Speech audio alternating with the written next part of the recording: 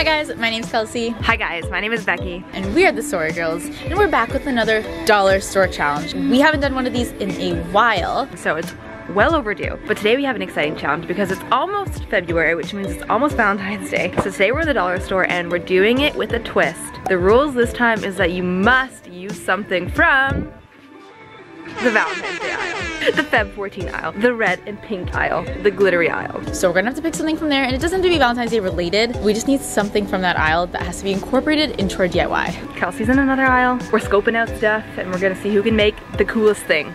So I'm going to get looking around, see if I can be inspired at the dollar store today. Oh, these are actually really cute. Little felt things. Oh my god, need this.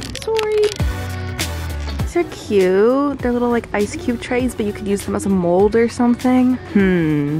I just want to say like no to all of this glittery, plasticky stuff. Like if you put this up in your house, I have questions for you. Oh, okay, this is kind of cute. Oh my goodness, this house is having a rager of a party. Where's my invite? What's up? Okay, I think I need to head to the rest of the store to get other ideas of other things in here that I can work with as well because too much Valentine's Day is clogging my brain creative process. Can we just take in that there's this Easter section in the middle of the Valentine's Day section? Identity crisis much. So one challenge might be trying to find a Valentine's Day item that isn't candy. Actually, we have a lot of options here, but a lot of it is candy. But when I saw like the suckers and stuff, the first thing I thought of was melting it down to create like a stained glass. Kind of weird, kind of cool. Could work, maybe. I don't know. Yeah, I don't know what it is but all the felt here, but it is just vibing with me. This looks like stuff you could buy at Michael's. Really cute. No. I know that Valentine's Day is like a Hallmark day anyways, but who decided that's gonna be red and pink? Like, just wondering where that came from. Who decided those colors? Little hedgehog is stuck on you. This is so interesting. Scented modeling dough. What the frick? Ooh, bamboo is super trendy right now. Hmm.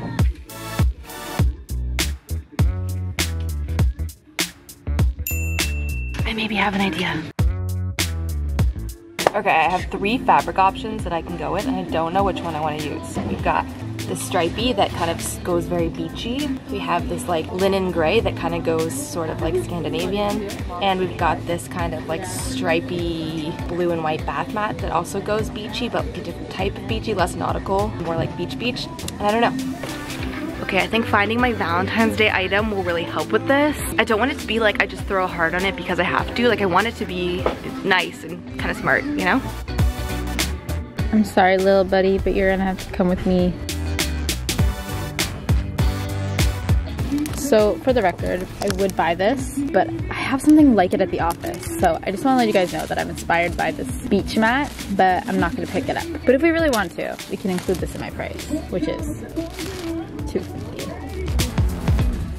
Okay, we are back in the dollar store. We both picked up a bunch of interesting things. So I'm gonna start by DIYing with my items first. So what I picked up is this gray apron and it was about $3. This is like a trellis for plants to grow up and it's bamboo and it was $3.50 for two, which is great because I actually need two. And for my Valentine's Day item, I got this pack of little chalkboard hearts for $1.50. So my plan with all of these is to actually make a really cute bamboo magazine rack because I realized that the little like grid pattern of the bamboo will like fit together nicely to make a little V-shaped rack. And then I'm gonna use the apron as like a liner for it. So first steps are going to be open this up and trim down the bottom so that they're all even.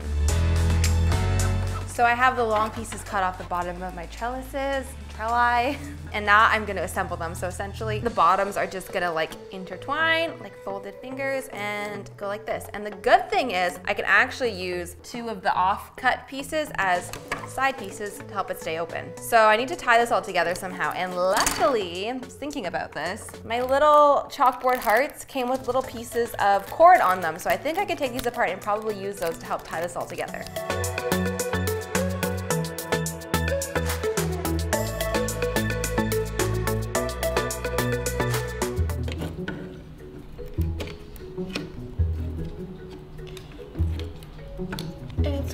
Everything is fine. This DIY is easy. It's pretty easy. So that was extremely easy and essentially the bones of my magazine rack are done. It's funny because it actually kind of looks like bones. but you could entirely stop here if you wanted to, but what I want to do is make a nice little liner for it so it hides all your magazines if you don't own only kinfolk magazines. so I have this apron that I'm gonna cut a little sheet to go in it and then I think and then I can use the little strappy on the top to actually make little ties to hold it in here as well.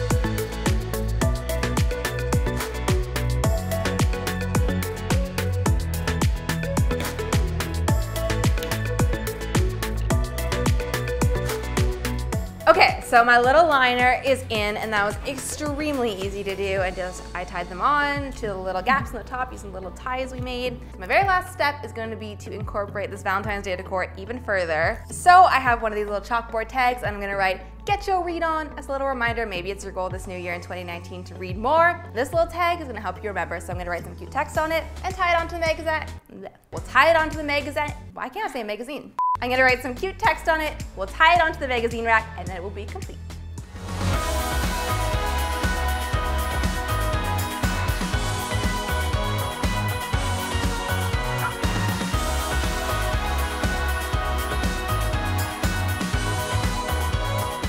I love how this turned out. It was actually, you know, one of my more clever dollar store challenge thoughts. I think sometimes I don't know. I get in the store and I blank and it's so hard. But I'm excited to see what Kelsey comes up with because I saw what was in her shopping cart. Girl, I'm confused. So from the dollar store, I picked up this trash bin. It was $4. And I also, from the Valentine's Day aisle, got this little guy who is not going to be a monkey for much longer. I am sorry. And he was also $4, which is a little bit expensive. This is the dollar store, right? It's the dollars store. Um, and then also I was there, I checked out this bamboo beach mat and I was about to get it. But then I was like, we have something at the office that's like basically the same thing. So I'm not gonna buy this beach mat from the dollar store if we already have it. We have this like, I think it's like wallpaper, but it is the same like bamboo straw. Oh, lighting just changed? Mm -hmm. One of those days. So my plan today is to actually make a stool or like a footstool and then have this little guy become a cushion for the top. So my first step is to actually cover the outside of this. I was thinking that I could spray paint it, but I did want it to not look like a trash can anymore. So that's why I am gonna use the bamboo straw wallpaper. To apply this wallpaper, I just put down some hot glue and then wrapped up the can. I trimmed the tops and the bottoms, and then along the top, I cut little slits all the way around since it is a circle, and then put down some hot glue, and then folded the little tabs in. So now I have my trash can covered and honestly, this trash can just got a huge makeover. It's really cute, even just for a trash can. But we are making it a stool, so it's gonna go this way. And my next step is to make the top cushion. So I don't know if you guys saw this coming, but he's gonna be my cushion. So I went in on my monkey with an X-Acto knife. I'm just trying to make as much of the fur fabric as possible. And I'm also taking out the stuffing for my little seat cushion. So after taking out the stuffing, taking off the arms and the hands and the feet and the face, I kind of have a flat piece of fabric. Kind of looks like a rug of an animal. This is so gross. I'm so sorry, guys. I didn't mean for it to be this way. This furry fabric is going to make up the top of my cushion, but I'm also going to use some extra fabric that we had here at the office to make the base of the cushion. So I'm tracing the top of my stool and cutting out two circles as well as a long strip out of this white fabric. And then I'm just pinning my long strip around the circle and sewing it up. And then now I have to make the top part of my cushion with the fur fabric. So I'm gluing on chunks of the fur to my other white circle. And luckily fur is very forgiving. You can't really see any of the seams. I mean, the fur is kind of going different directions, but I think it looks fine. So I glued down all of my fur so it's completely covered and cut off any excess. And now my last step, I just realized I'm gonna have to sew through glue. Hopefully that's not an issue. My next step is to attach my furry top to my cushion, stuff it, and then I'm done. And then lastly, to attach my cushion, I glued it to the top of my stool just so everything stayed in place. And this is what my final stool looks like. This is from the dollar store. It don't look like it. I think I did a pretty good job, if you ask me.